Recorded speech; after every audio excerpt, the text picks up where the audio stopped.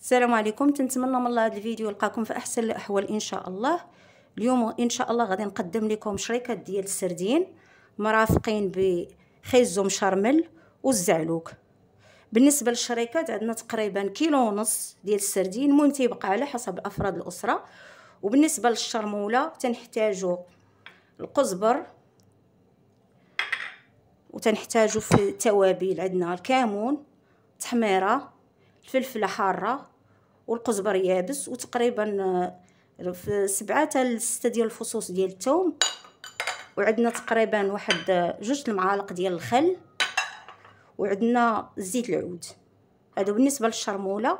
وعندنا الملح حسب الذوق. دابا غادي ندوزو على بركة الله باش نقادو السردين. دابا غادي نحضروا الشرمولة ديال السردين. بالنسبة للقزبر والثوم من الأحسن أننا ندقهم في المهراز. واللي ما بغاتش ماشي مشكل تقطعهم. غير أنا تنفضل اننا نديرو المهراز تدقيهم مزيان.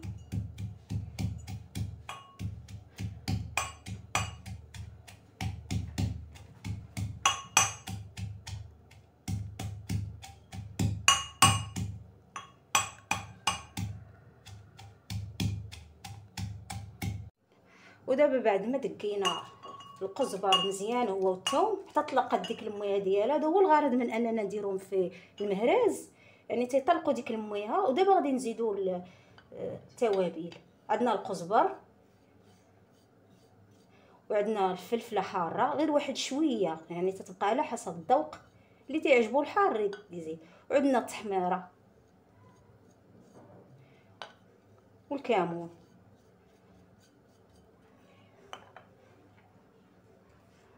والملح.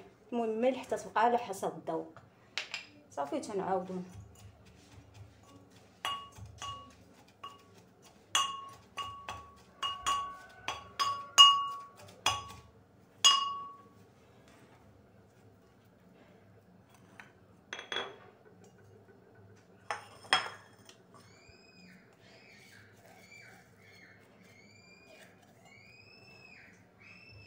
صافي غادي نضيفو هنا الخل تقريبا واحد جوج المعالق ديال الخل والزيت العود. صافي غادي نحركو الشرمولة ديالنا مزيان.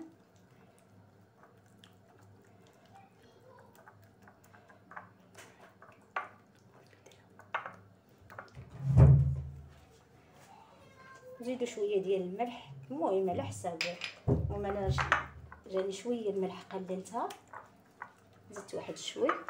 صافي ودابا غادي نشرمل السردين تنديرو غير واحد شوية ما تنكثروش في الوسط ديال السردين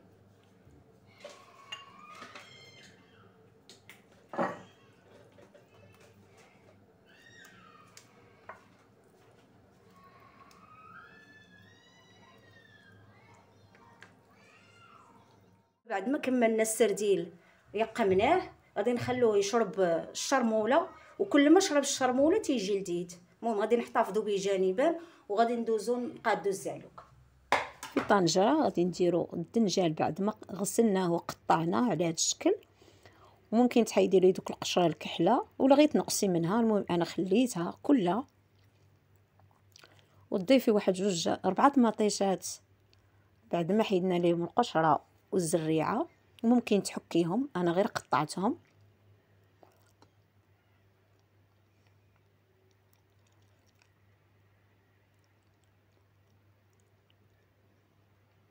وغادي نضيفو التوابل. عندنا الفلفله حلوة وعندنا الثوم وعندنا الفلفل الحار. بالنسبة للفلفل الحار تيبقى على حسب الذوق. ممكن اللي ما تيعجبوش ما يديروش.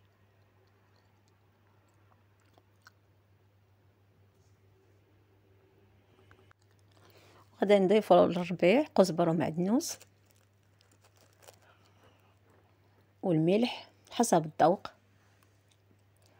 ونص كاس ديال الزيت نص كاس ديال الزيت بلديه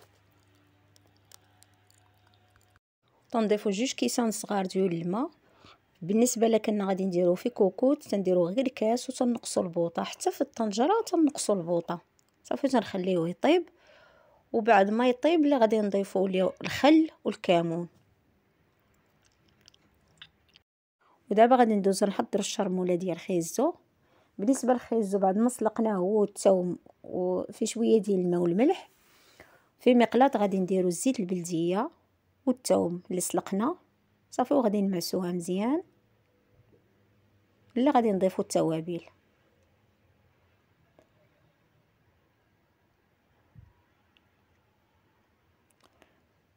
بالنسبة للتوابل عندنا فلفله حلوة راس معلقة وعندنا خرقوم عود حتى هو راس معلقة والفلفل الحار حسب الذوق وعندنا المعدنوس وشوية ديال الملح حسب الذوق.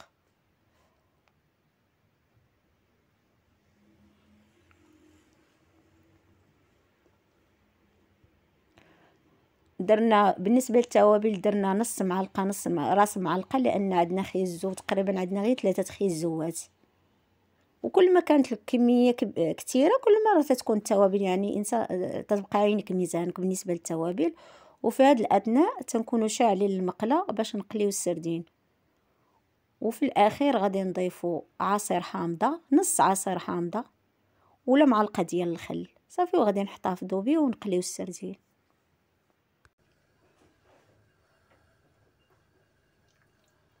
نديروا ليه شوية ديال الدقيق. ممكن ديري الفورس ولا القمح. المهم أنا هنا درت غير الفورس.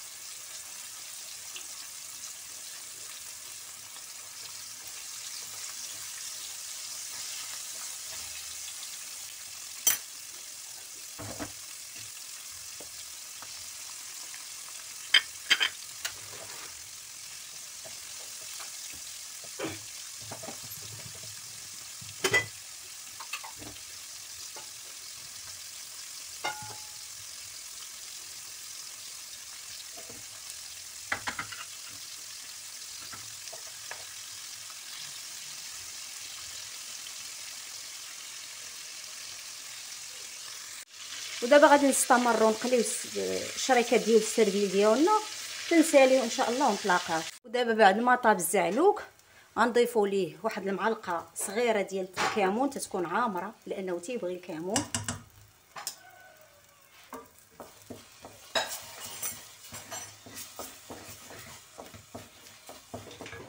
والخل تقريبا واحد المعلقة